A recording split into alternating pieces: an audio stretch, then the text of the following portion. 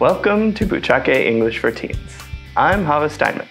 And I'm Robbie L. Let's get started by watching today's skit.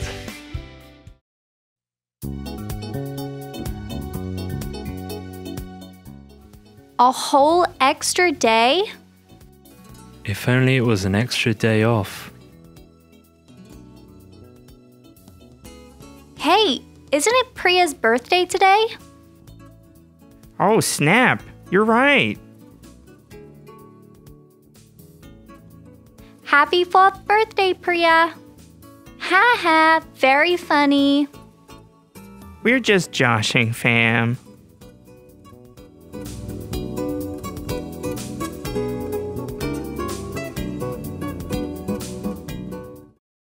Oh, yeah, it's a leap year this year, isn't it? Yeah, an extra day for learning English. How exciting! You said it. If only every year were a leap year. And if only is today's point. In the skit, you heard Jason say, if only it was an extra day off, when talking about the extra day in a leap year.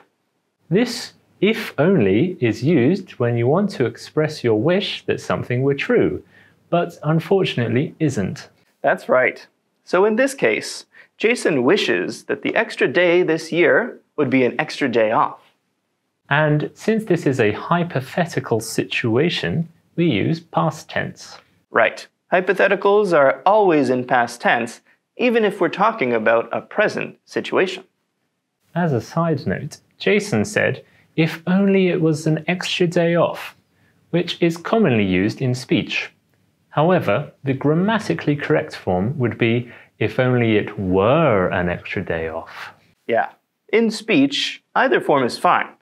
Let's take a look at some examples using if only. If you get your pop quiz back and there's a big red F at the top, you could sigh and say, If only I had studied harder. If only I had studied harder.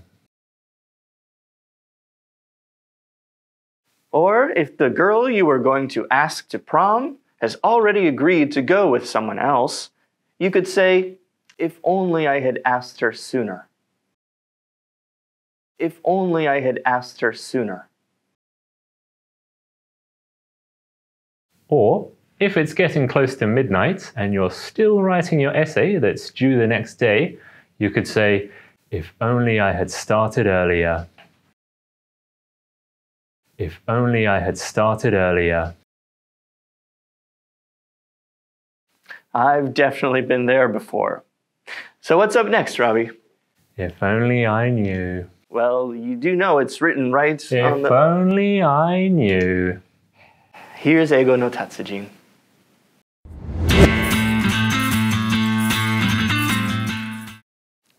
Our Eigo no Tatsujin point today is about the word fam. It sure is, fam. In the skit, you heard Samir say, We're just joshing, fam, when talking to Priya, and you may have wondered what this fam really means. Yeah, this fam is a slang term to address your close friend. That's right.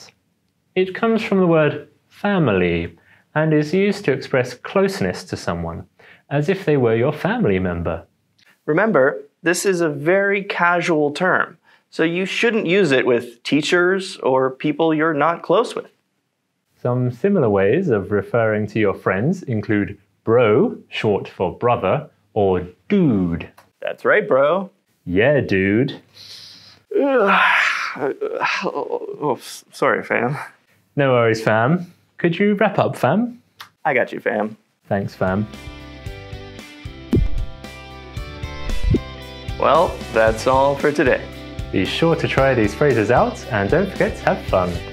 If you like this video, don't forget to subscribe and give us a like. See you next week.